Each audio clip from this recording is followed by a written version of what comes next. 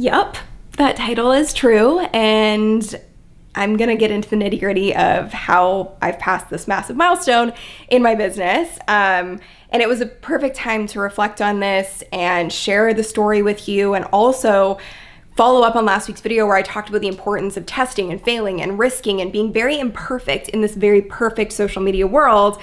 And I heard a story that kind of changed my whole perspective on all of this. And I used to have all of these post-its on my on my mirror in my room uh, where it would say things like revenue goals that I wanted to hit and um, you know social media metrics I wanted to hit and all these things. And when I heard this story, I took them all down and I replaced it with just this test, fail, learn, grow, repeat. Test, fail, learn, grow, repeat. And the story, ironically, is from the founder of Post its. So I don't know if you know this story, but it's really interesting. So Post its weren't really ever supposed to be a thing. It actually started as an adhesive that was meant to be used in aerospace. And it was considered a pretty epic failure when the guy created the, the adhesive and it was very weak and really couldn't hold much together. And that's how Post-its eventually came to be and it's brilliant. But it was 14 years from the time of that failure the aerospace failure with the glue that didn't actually stick to anything to Post-its being created created, which I think is a really valuable lesson in the amount of time that it can take for an idea to actually come to life and all the failures along the way that sometimes are required to get there. So for me, I mean, Post-its now are doing 50 billion, uh, I believe it's 50 billion units a year uh, are being produced, uh, which is a crazy number, but $10 million is a crazy number for me. I never would have anticipated this. I never would have seen this coming four years ago. And I've had so many failures along the way. And I think as much as it's important to celebrate your wins and talk about what you're really proud of, I think it's really important to share the actual honest journey of how I got here because I know it's going to be helpful, helpful for you. And I don't know that it's often talked about enough.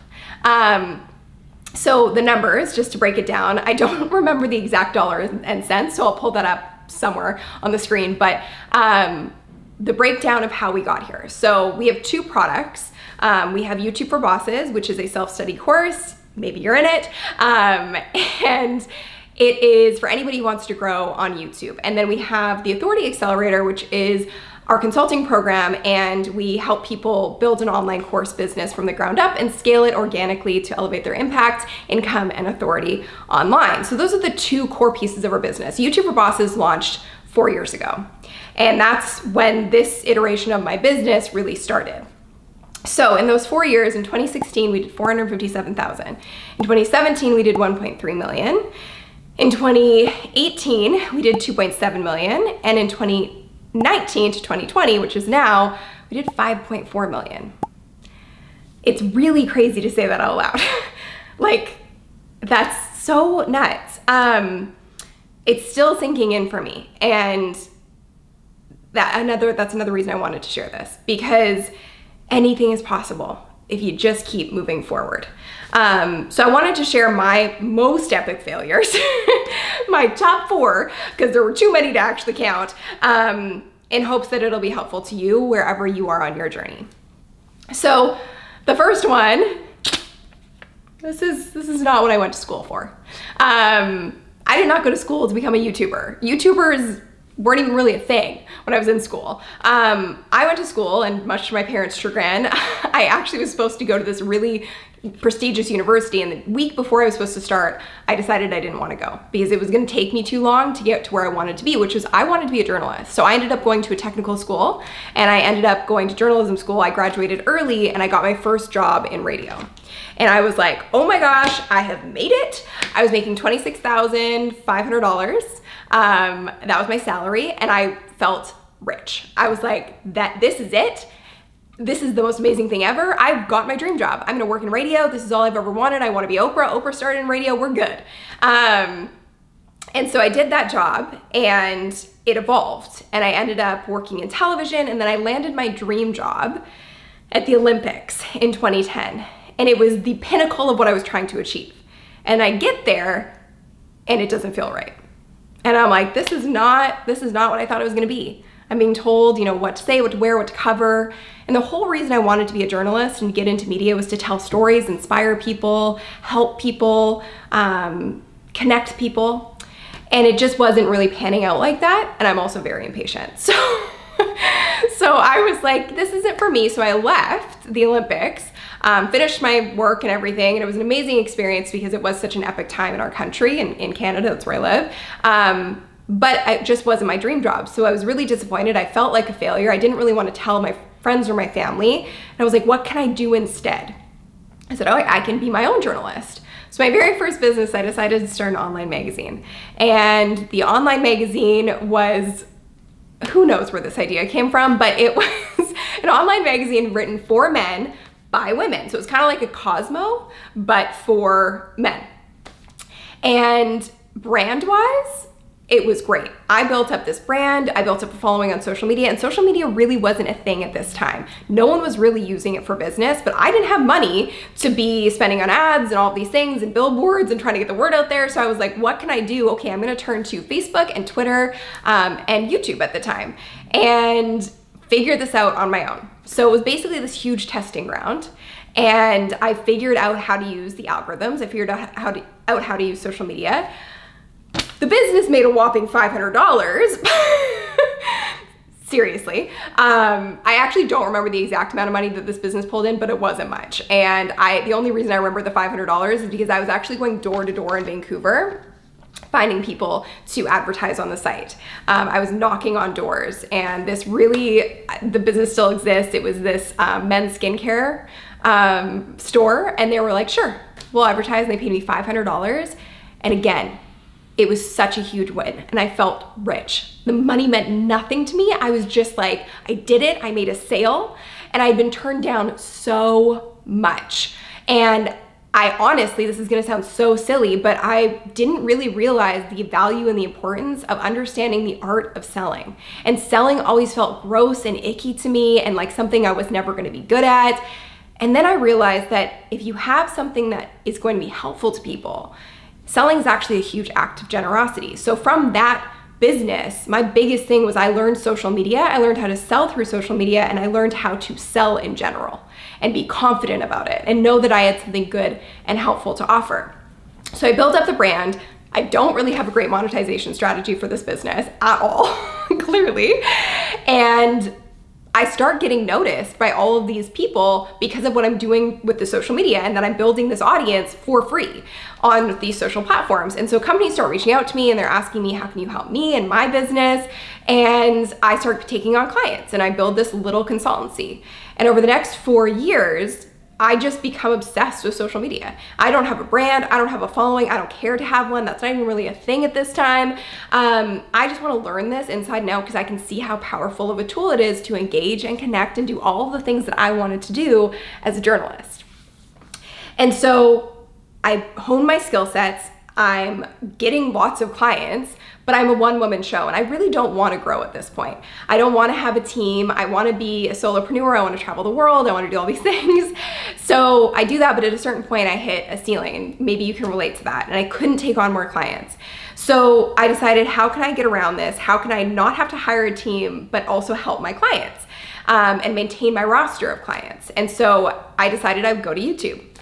At the time on my YouTube channel, I had like family videos, some random vlogs that I attempted to make, all of these random things, um, but no strategy, nothing, and barely any subscribers. And I just decided to post a video to answer one of my client questions um, because a few of my clients at the time were asking about it and they were asking about live streaming on Periscope. Um, and so I decided to make a tutorial about it. And I didn't put any effort into it really outside of I wanted to just really portray and help the clients so they wouldn't ask me more questions to be totally honest. So I make the video and lo and behold, the next day, it's got a lot of views. Shocking to me because I don't understand. I don't really have any subscribers. Where are the views coming from? But I realized I was the first person to make a video on the topic, and it was a topic that was being highly searched because it was a new tool. And so I started getting all these inquiries of people wanting to work with me and hire me for social media expertise, and I'm already at a limit with my clients. So now I have to figure out how can I help more people when I'm a one person show. And so after that thing happened where I was getting all of these emails and requests and speaking engagements and all these things started flooding in because of YouTube. And truthfully, I was awful at YouTube. when I first started, I was awful at YouTube. You can go back to my oldest videos. I did not know what the hell I was doing.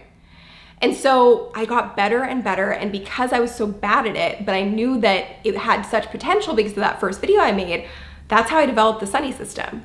And the Sunny system has now been used by thousands of people all over the world. We've got 8,000 clients that have used the Sunny system to grow their businesses and grow their brands using YouTube. And the only reason I created it was because I was so freaking bad at it and I failed at it the first time around and I really wanted to crack the code. And so I start building up my YouTube channel, I start building up that business, and it's bringing in so much demand that out of pure necessity, and this is, if you can take one thing from this, do not do anything in your business out of boredom. Do anything that you can in your business out of absolute necessity. If it is not 100% necessary, you're just bored and you have shiny object syndrome. And I have been guilty of that. So every move that I have made that has actually made a huge difference in my business has been born out of pure necessity. So I get all this demand from YouTube and I discover the idea of online courses. And I realize, oh, you can actually package your expertise into an online course. And that would help me reach more people without actually doing the one on one work. And so I decide, okay, I'm gonna package my knowledge and I'm gonna create a course. My first course, call it an epic failure, but I didn't know how to create the best possible course at the time. So it did okay but it wasn't amazing. Um, and I had a couple other ones in between there until I landed on YouTube for Bosses. And YouTube for Bosses, as I said, has been around for four years, and we have served people all over the world. Um, and it's really incredible to see the results that people have. We have this 100K club with all these people who have achieved 100,000 subscribers and more, and people making $100,000 in revenue per month from their channels um, and more. It's it's amazing. But that wouldn't have happened unless I had had those previous failures. And then from there, my team starts to grow and the, the sort of pressure starts to grow because then it's like a real business. It's not just me anymore. And I have all this demand and these clients and all these things.